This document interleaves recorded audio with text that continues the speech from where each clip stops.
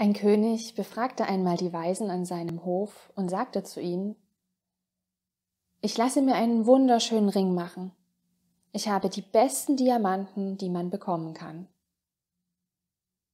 Ich möchte in dem Ring eine verborgene Botschaft haben, die mir in Zeiten völliger Verzweiflung helfen kann.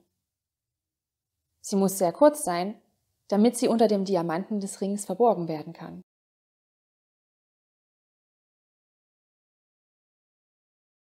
All die Weisen, all die großen Gelehrten hätten lange Abhandlungen darüber schreiben können. Aber ihm eine Botschaft zu geben, die nur zwei oder drei Worte enthielt und ihm in Zeiten größter Verzweiflung helfen würde? Sie dachten nach, sie schauten in ihre Bücher, aber sie konnten nichts finden. Der König hatte einen alten Diener, der ihm fast wie ein Vater war. Er war schon der Diener seines Vaters gewesen, die Mutter des Königs war früh gestorben, und dieser Diener hatte sich um ihn gekümmert. Deshalb wurde er nicht wie ein Diener behandelt, und der König hatte großen Respekt vor ihm. Der alte Mann sagte, ich bin kein Weiser, bin nicht gebildet und nicht gelehrt, aber ich kenne die Botschaft. Es gibt nämlich nur eine Botschaft. Diese Gelehrten können sie dir nicht geben. Nur ein Mystiker, jemand, der sich selbst erkannt hat, kann sie dir geben.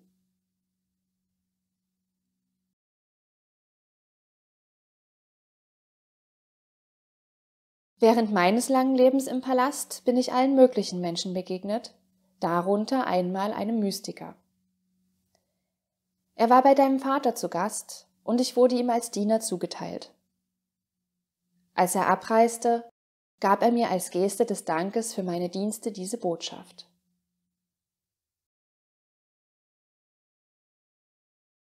Und er schrieb sie auf einen kleinen Zettel, faltete ihn zusammen und sagte zum König, Lies sie nicht jetzt? Halte sie in deinem Ring verborgen und öffne sie erst, wenn alles gescheitert ist, wenn es keinen Ausweg mehr gibt.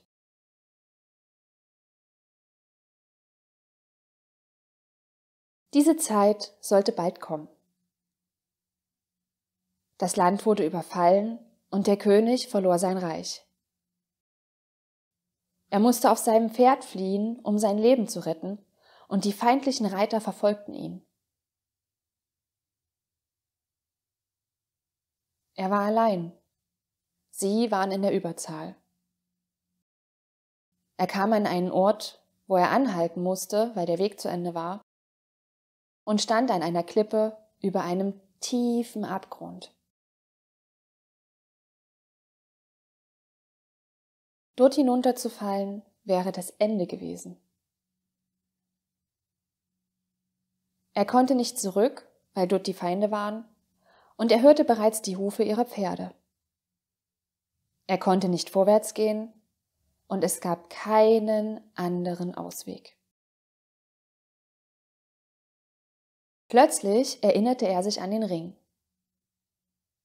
Er öffnete ihn, nahm den Zettel heraus, und darauf stand eine kurze Botschaft von sehr wertvoller Bedeutung. Sie lautete, auch dies geht vorüber.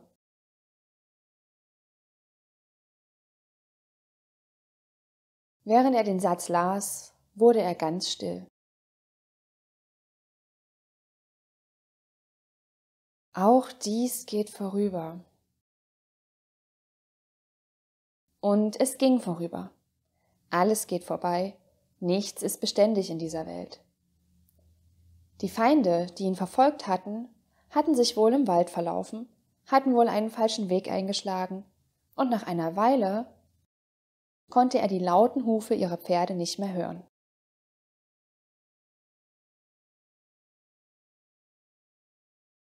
Der König verspürte große Dankbarkeit gegenüber seinem Diener und jenem unbekannten Mystiker. Diese Worte hatten wie ein Wunder gewirkt. Er faltete den Zettel wieder zusammen, steckte ihn zurück in seinen Ring, sammelte seine Truppen wieder um sich und eroberte schließlich sein Reich zurück. Und der Tag, an dem er siegreich wieder in seine Hauptstadt einzog, wurde in der ganzen Stadt großartig gefeiert, mit Musik und Tanz, und der König war so stolz auf sich selbst.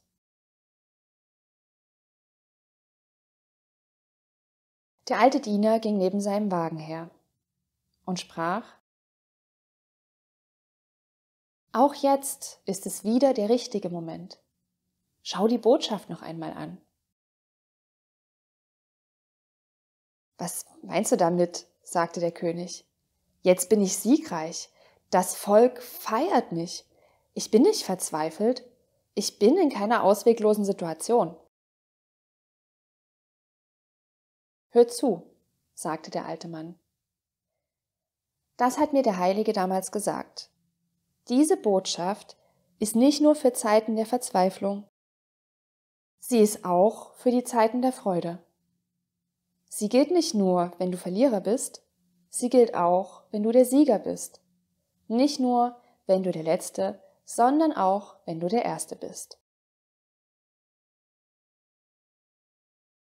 Der König zuckte mit den Schultern, öffnete seinen Ring und las die Botschaft Auch dies geht vorüber. Und plötzlich überkam ihn derselbe Frieden, dieselbe Stille, mitten in dieser Menge, die jubilierte, feierte und tanzte. Sein Stolz, sein Ego waren verflogen und er verstand, alles geht vorüber. Er bat seinen alten Diener, in seinen Wagen zu kommen und neben ihm zu sitzen. Und er fragte ihn, Gibt es noch was? Deine Botschaft hat mir ungemein geholfen. Der alte Mann sagte, das Dritte, was mir der Weise damals sagte, war, Vergiss nicht, dass alles vorübergeht. Nur du bleibst. Du bleibst ewig als Zeuge.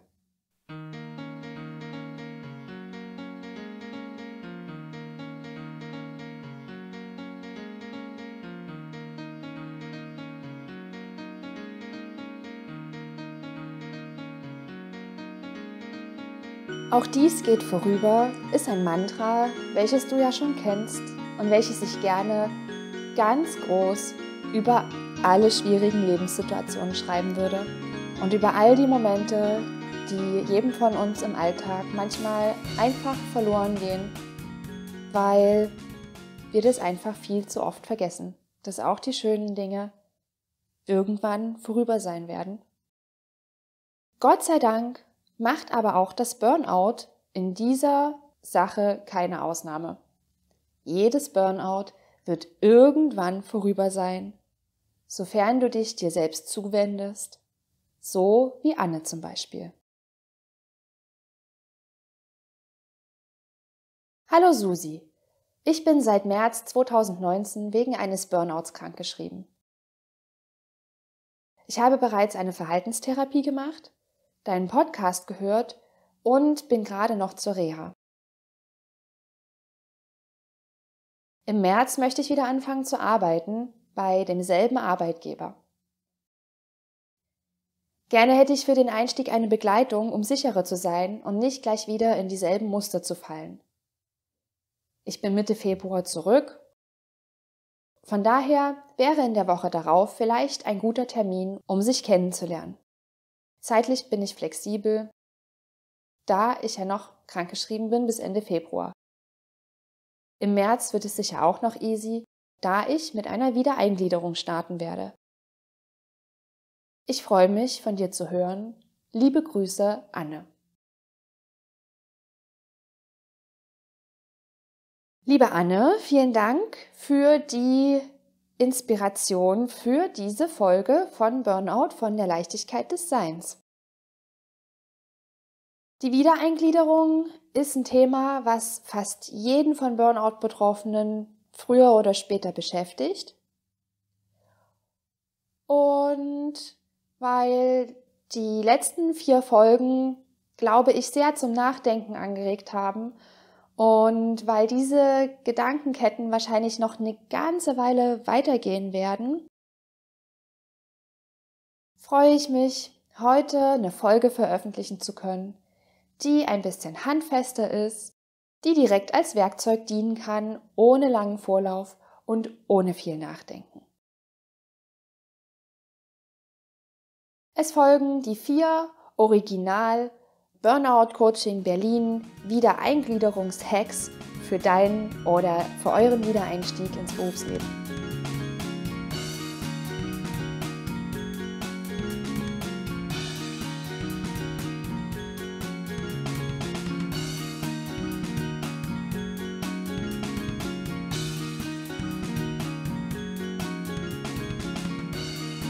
Die Frage, jeden von Burnout-Betroffenen irgendwann beschäftigt, lautet also, wie geht es weiter nach meinem Burnout?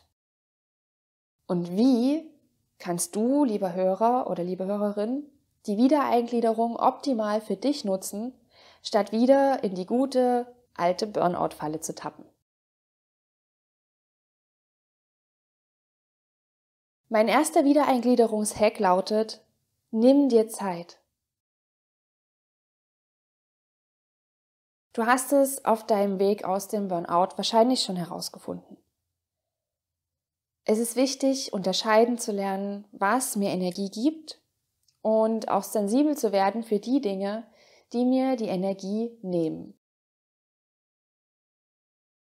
Das gilt natürlich auch für deinen Wiedereinstieg ins Berufsleben. Der Wiedereinstieg ins Berufsleben sollte deswegen auf jeden Fall sorgfältig und frühzeitig geplant werden und, so wie bei Anne, unbedingt über eine Wiedereingliederung passieren. Denn diese Wiedereingliederung ermöglicht es dir überhaupt erstmal, die eigene Belastungsfähigkeit wieder einschätzen zu lernen, wieder mehr Selbstsicherheit auch zu bekommen und Ängste abzubauen vor einem Rückfall oder vor Überforderung oder so. Und eine klassische Möglichkeit des Wiedereinstiegs ist das sogenannte Hamburger Modell.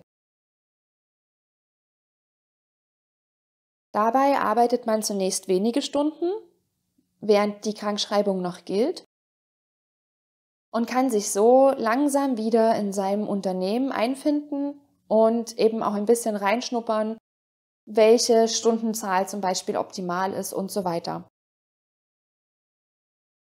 Die ganze Zeit über die Wiedereingliederung läuft das Krankengeld weiter und dieses Modell ist sehr flexibel. Das heißt, du kannst mit deinem Arzt besprechen, mit welcher Stundenzahl du wieder anfangen möchtest, wie dann die Empfehlung weiter aussieht, wie schnell oder wie langsam sie gesteigert werden soll, zum Beispiel. Viele Betroffene machen gute Erfahrungen damit, wenn sie sich schon im Vorfeld der Wiedereingliederung mit ihren Kollegen und oder den Chefs in Verbindung setzen. Ihr habt euch lange nicht gesehen und so hast du die Möglichkeit abzuchecken, was geht. Wie die Stimmung unter den Kollegen und generell im Unternehmen ist zum Beispiel.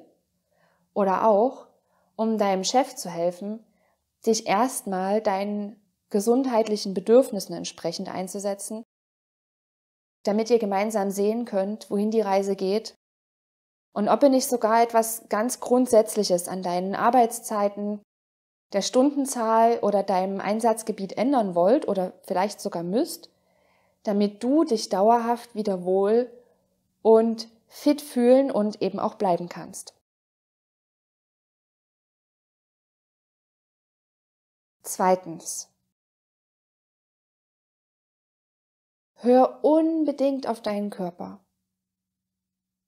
Sei wie eine Schildkröte, die ihren Panzer nur langsam und vorsichtig verlässt, wenn sie sich warm und sicher und wohl fühlt.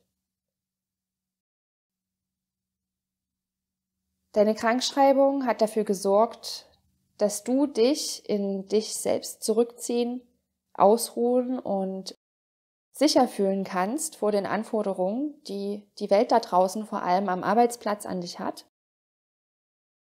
Das Hamburger Modell der Krankenkassen wurde sozusagen genau für dich erfunden. Im Fall eines Burnouts sorgt es dafür, dass du dich langsam mit all den neuen Erkenntnissen und Bedürfnissen, die du in den letzten Wochen und Monaten über dich selbst und deinen Alltag neu hinzugewonnen hast, nach draußen zurückwagen kannst. Und zwar ohne zu hetzen und vor allem ohne dich und deinen Körper und deine Psyche zu übergehen und dann eben wieder eine neue Burnout-Runde deswegen drehen zu müssen. Wenn dein Körper dir also signalisiert, dass die Wiedereingliederung zu schnell geht oder dass sie vielleicht nochmal ganz pausiert werden muss, nimm diese Signale wahr und nimm sie ernst und sprich mit dem Arzt deines Vertrauens darüber. Denn die Wiedereingliederung ist keine Einbahnstraße, auch wenn das manchmal gerne von den Krankenkassen so suggeriert wird.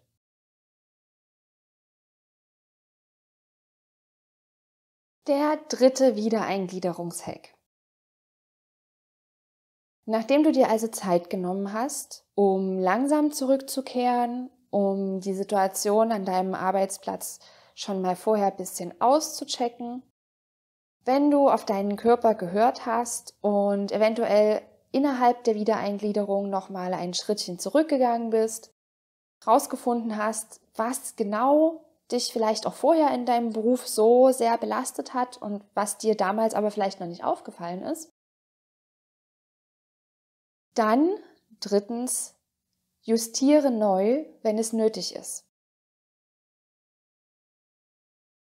Die Wiedereingliederung ist eine Teststrecke, die dir aufzeigen soll, wo in deinem Job bisher die Stolpersteine gelegen haben und welche von ihnen du nun besser vertragen kannst oder umfahren kannst, weil du die ihre bewusster geworden bist, weil du Entspannungstechniken gelernt hast, weil du vielleicht nicht mehr ganz so viel Wert darauf legst, was andere von dir denken könnten und so weiter und so fort.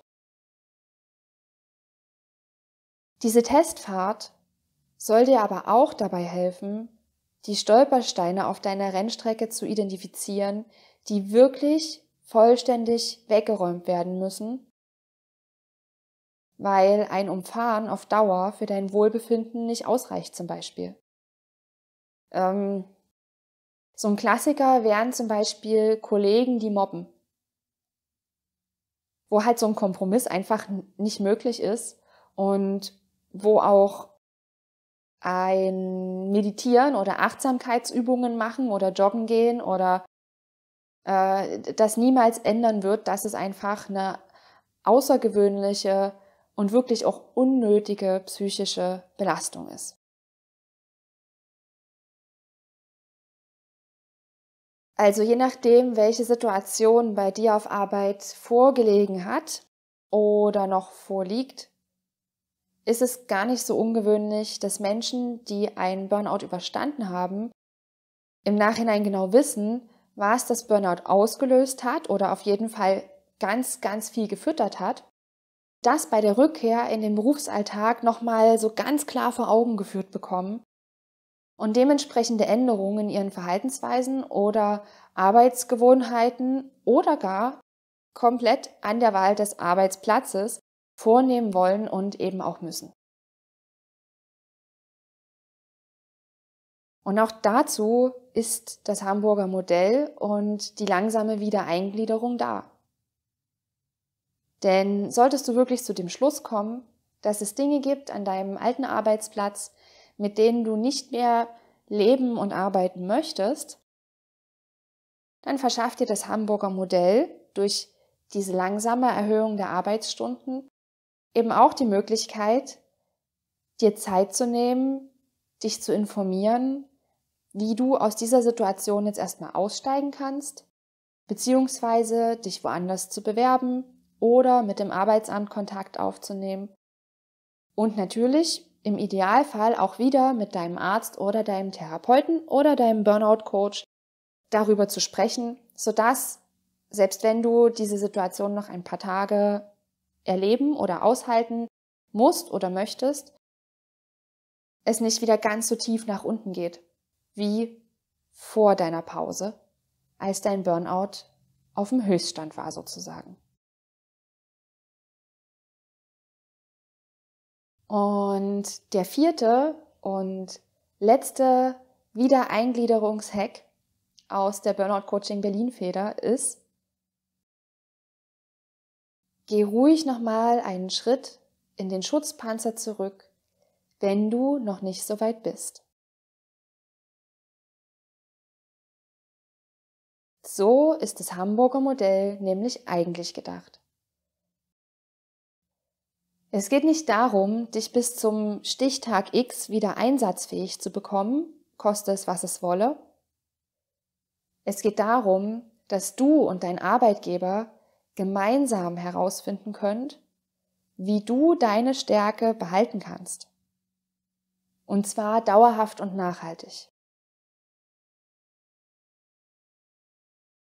Das Hamburger Modell ermöglicht, die eigene Belastungsfähigkeit wieder einschätzen zu lernen ja.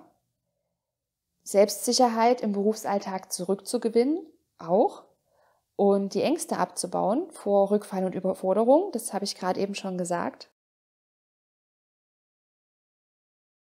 Die stufenweise Wiedereingliederung beginnt ja aber nicht umsonst zu einem Zeitpunkt, zu dem der Mitarbeiter offiziell noch arbeitsunfähig ist. Die Dauer der Wiedereingliederung ist normalerweise auf einen Zeitraum von sechs Wochen bis sechs Monaten ausgelegt. Das ist ein großer Spielraum, den du mit deinem Arzt eben gemeinsam besprechen und für dich dann auch rausfinden kannst, ob du den komplett ähm, für dich nutzen möchtest oder ob du denkst, dass du äh, schneller wieder am Start bist sozusagen. Wenn sich aber innerhalb dieser Zeit rauskristallisiert, dass du trotz Wiedereingliederung selbst über einen längeren Zeitraum noch nicht wieder voll einsatzfähig sein wirst, kann dieser Prozess im Ausnahmefall auf bis zu zwölf Monate verlängert werden.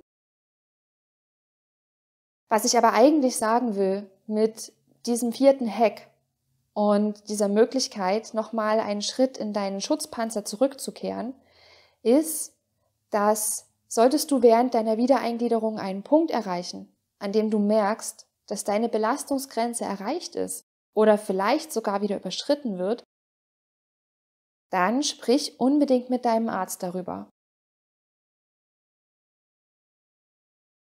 Denn was gerne in offiziellen Statements und, und, Briefen und Erklärungen vergessen wird zu erwähnen, ist, dass das Hamburger Modell es Betroffenen ermöglicht, bei Bedarf nochmal mehrere Schritte zurückzugehen.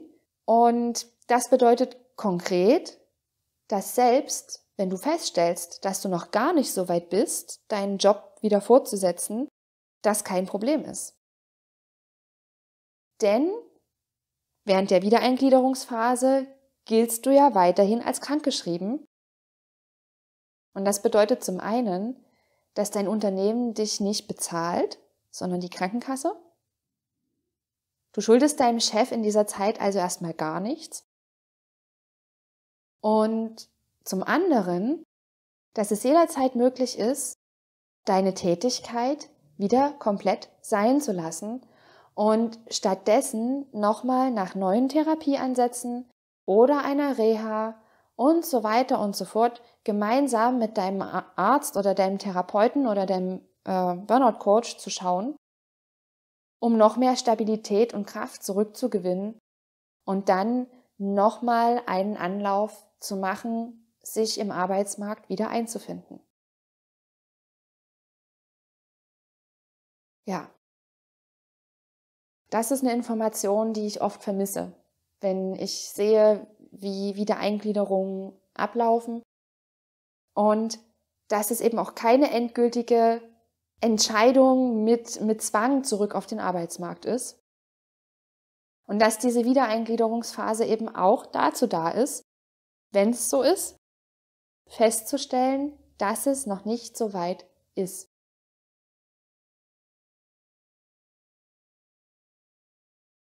Das ist also der Gedanke auch so ein bisschen dahinter, dass dir als Betroffenem oder als Betroffener dieser Druck genommen wird und dass du einfach wissen kannst, dass an deinem Status sich erstmal noch gar nichts ändert, es sei denn, du bist nach der vereinbarten Zeit wirklich auch selber davon überzeugt und fühlst dich wohl damit, den Krankenstand zu verlassen und wieder arbeiten zu gehen.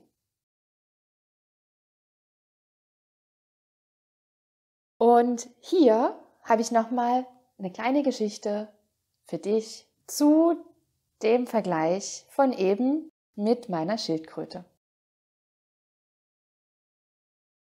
Ein kleiner Junge, der auf Besuch bei seinem Großvater war, fand eine kleine Landschildkröte und ging gleich daran, sie zu untersuchen. Im selben Moment zog sich die Schildkröte in ihren Panzer zurück und der Junge versuchte vergebens, sie mit einem Stöckchen herauszuholen. Der Großvater hatte ihm eine Weile zugesehen und hinderte ihn daran, das Tier weiter zu quälen. Das ist nicht gut, sagte er. Komm, ich zeig dir, wie man das macht. Er nahm die Schildkröte mit ins Haus und setzte sie auf einen angenehm warmen Kachelofen. In wenigen Minuten wurde das Tier warm, steckte seinen Kopf und seine Füße heraus und kroch auf den Jungen zu. Mein Kind, Menschen sind manchmal wie Schildkröten, sagte der Mann. Versuche niemals, jemanden zu zwingen. Wärme ihn nur mit etwas Güte und Mitgefühl auf, und er wird seinen Panzer verlassen können. Und das ist auch die Quintessenz für heute in dieser Wiedereingliederungsfolge. Deswegen lautet auch das Mantra der Woche heute. Ich komme raus, wenn's warm genug ist. Schildkrötenstep bei Schildkrötenstep.